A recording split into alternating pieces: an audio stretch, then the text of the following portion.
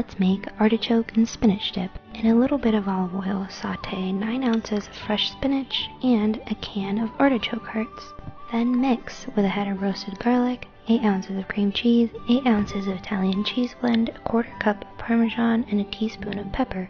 Place in an oven safe dish, top with parmesan, and bake at 400 degrees for 12 to 15 minutes. Enjoy, my love!